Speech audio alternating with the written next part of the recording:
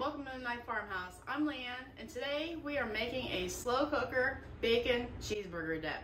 If you're new to my channel, I do cooking and baking from scratch, canning and dehydrating videos. And if that sort of thing interests you, feel free to subscribe to the channel. And if you find value in this video, please hit the thumbs up.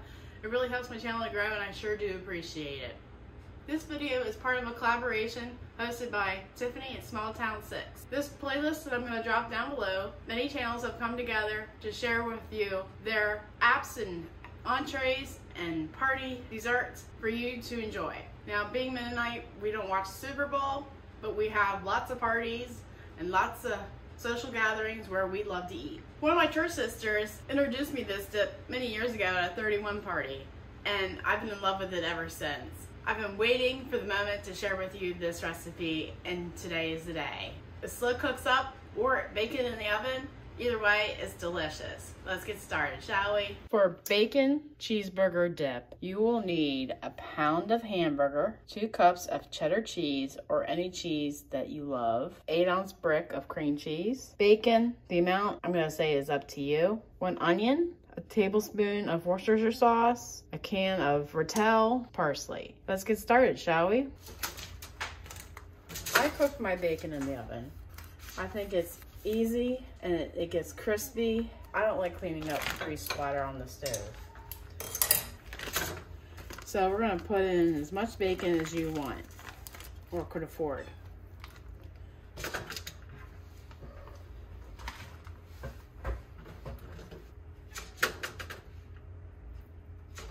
I'm gonna bake this at 375 for 20 to 25 minutes until crisp.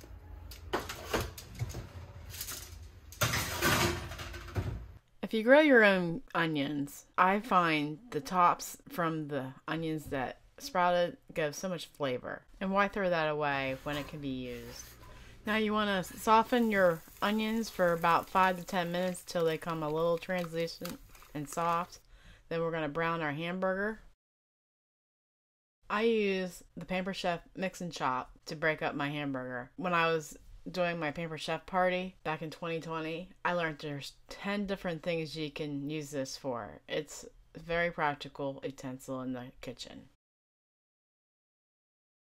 I'm adding salt and pepper to the meat to make sure it has the amount of flavor that you would want.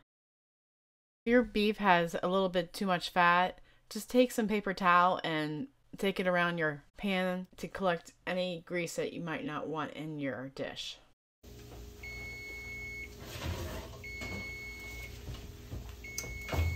I just take paper towel to wash off the excess grease. Then we're gonna chop up our bacon, and if it, if you have kids, maybe just use a pizza cutter and let them cut the bacon up. Get them interested in cooking, or just being able to have quality time with each other. Kids do want to be with you.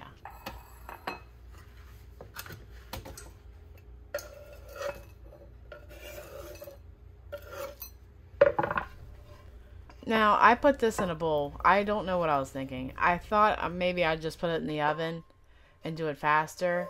But then I thought, no, people need to see it in the slow cooker because it's easier to serve to guests that way because it'll stay warmer longer. Once the hamburger is cooked and the bacon's cooked, it all comes together pretty quickly. So in the slow cooker, you're going to add your hamburger, your bacon, and your cream cheese and your cheddar cheese. As I'm opening the Rotel, I am just laughing because this is the first time I've used an actual can opener since Christmas. And if you've watched my cream of crab soup video, you know what I'm talking about. Oh, yeah. That's how often I use a can opener in my kitchen. Then we're going to add the Worcestershire sauce and the parsley. And not least, the bacon. See how yummy that looks coming out of the oven? Now, as I'm making this, it dawned on me, why did I have to buy Rotel? I could have used cowboy candy in this dip. And I could use crushed tomatoes from my pantry. That just goes to tell show you how you can just use stuff that you have on hand.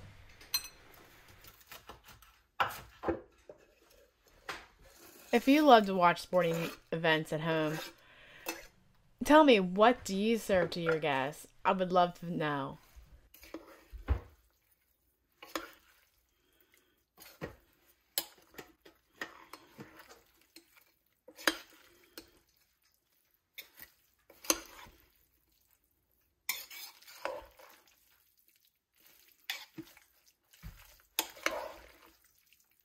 You want to stir well to combined and put a lid on it and set it on low and it will be done in two hours.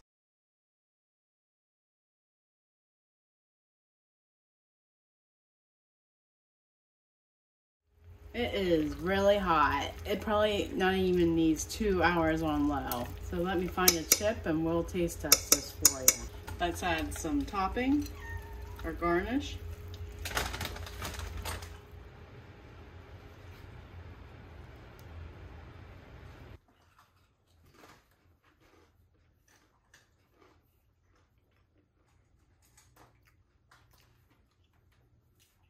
That is very good. If you want to give this a try, the recipe will be down below. This also makes a great casserole. Add in a quarter cup of sour cream and some elbow macaroni and bake for 20 minutes, topped with cheese, and you have an amazing meal. Just add a salad or a side of broccoli or asparagus, and you will have a wonderful meal. And thank you for watching, and come back and see me at the farmhouse real soon. Take care. God bless. And if you've made it this far into the video, I so do appreciate it and thank you. And here's another great video of mine to go watch.